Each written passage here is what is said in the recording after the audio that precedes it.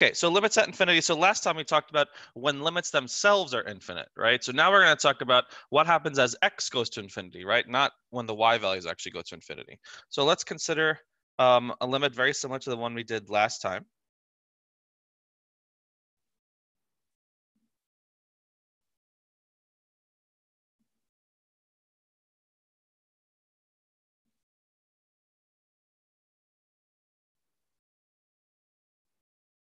So let's look, lim as x goes to infinity of, excuse me, 1 over x. All right, so let's try and just break this down quickly, right? We already kind of know what these symbols mean from last time. So remember last time we talked about the infinity symbol, right? Infinity is not a number. It, you know, I don't want to see things like x going to infinity from the left, x going to infinity from the right. I mean, these things don't make sense. Infinity is not a number, but the symbol x going to infinity does mean something. We talked about the symbol last time. Could someone remind us what this actually means um, as x goes to infinity? We had like a whole five minute discussion about what infinity means. The numbers are getting arbitrarily large. Arbitrarily large. And what does that mean to you? Let's get someone else to say that. What what does arbitrarily large mean to you? Who said that, by the way? I didn't actually see who said it. Who said it? Naomi. Okay, thank you, Naomi. All right, so who wants to kind of go off what Naomi said? Arbitra- X gets arbitrarily large. What does that mean? Let's make that, let's kind of explain that.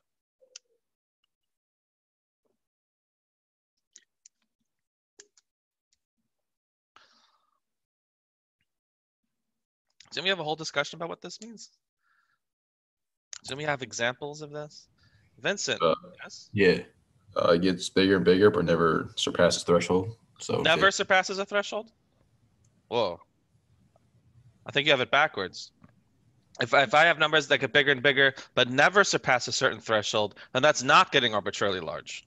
Doesn't mean it gets um eventually it'll catch up to like a certain point and surpass it.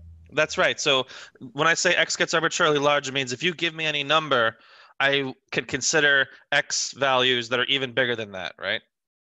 Um, so let's actually write that down. So as x gets arbitrarily large,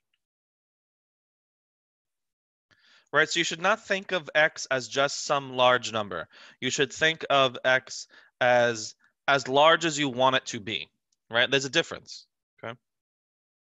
Um, the other thing that's kind of uh, you know a little technical here is the infinity symbol in this case also means x is positive, right? Otherwise we would have had negative infinity. So x is arbitrarily large and positive. Okay, so let's complete the sentence. As x gets arbitrarily large and positive, what happens to the values of 1 over x?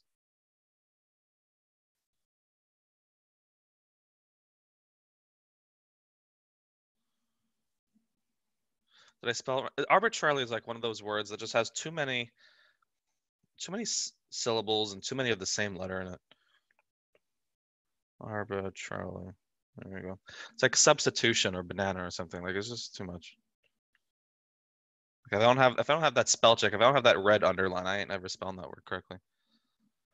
So the values of 1 over x, they get closer to 0, they get smaller and smaller, they get arbitrarily small. Okay, good. So I like that phrase, arbitrarily small. In other words, they get as close to zero as you want, right? Not just closer and closer to zero, but as close to zero as you want. That's what we mean by the limit being zero.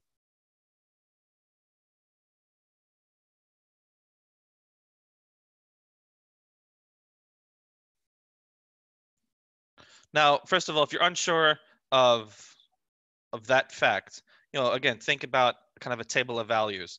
Think of x make a little table of values where x is getting arbitrarily large. You know, let's say powers of 10. You know, 1, 10, 100, 1000, and so on and so forth. And look at 1 over x, right? And what happens there? 0 0.1, 0 0.01, and so on. So we can see that as x gets larger, or arbitrarily large, 1 over x not only gets smaller, but it gets arbitrarily close to 0. So that's exactly what we mean by the limit being 0. Now, what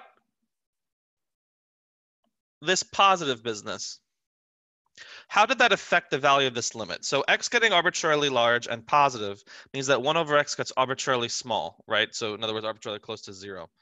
How did the fact that x was positive affect that statement? Where did we use the fact that x was positive?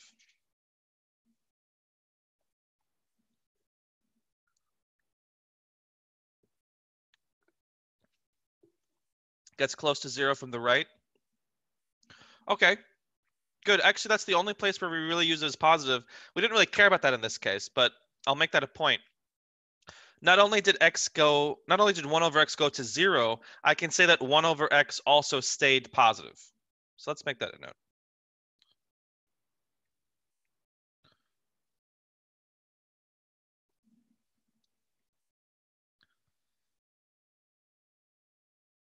So in some contexts, it might actually be useful to know that not only did 1 over x go to 0, 1 over x went to 0, but also remained positive, right? So you might want to put like a little like 0 plus here. You know, I mean, the limit is still 0, don't get me wrong. 0 from the right side is the same thing as 0 from the left side. But in some contexts, it might matter. For instance, what if I had ln of 1 over x, right? Then the fact that 1 over x goes to 0 from the right side, the fact that 1 over x stays positive is relevant because then that means I can actually take the ln of that number. So in some contexts, it would matter. So I was actually, so I'm glad someone actually pointed that out. Just for the purposes of calculating this limit though, it didn't matter, right? So if I had say negative numbers,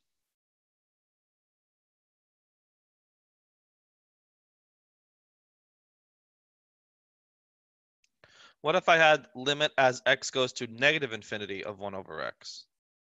What would you say about that? So now x going to negative infinity means that x is arbitrarily large and negative.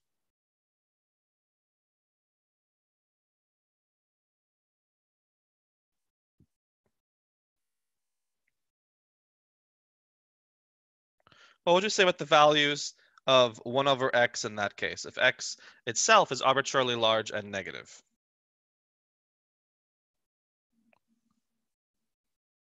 And again, think about a table of values. Negative 1, neg x is negative 1, negative 10, negative 100, negative 1,000. So Jacqueline says they still approach zero, right? They still approach zero. The only difference is the values are just negative, but overall they still approach zero.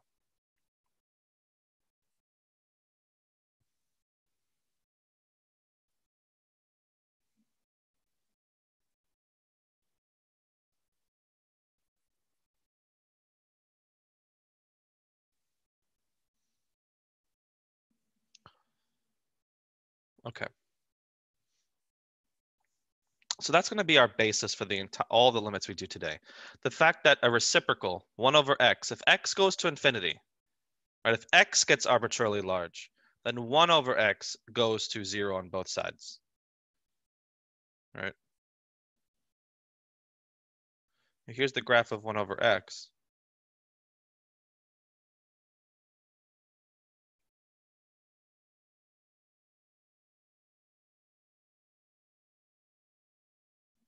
right? So as x goes to infinity, we can see what happens. As x gets arbitrarily large, the y values get arbitrarily small, right? That's what the graph suggests here.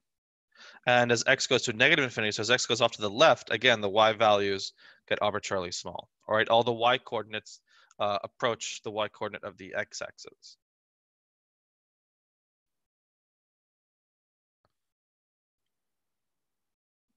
Okay, so now I just want to say, so in general,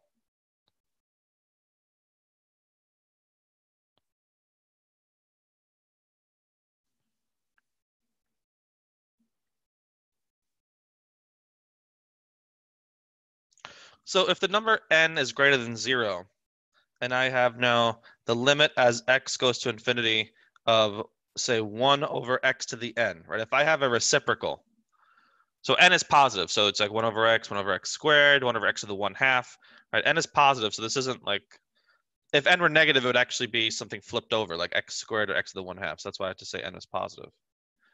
How can we figure out this limit? Well, this is just our regular limit law uh, this is really as x goes to infinity of 1 over x, the whole thing raised to the n power, right? That's just algebra and a property of limits.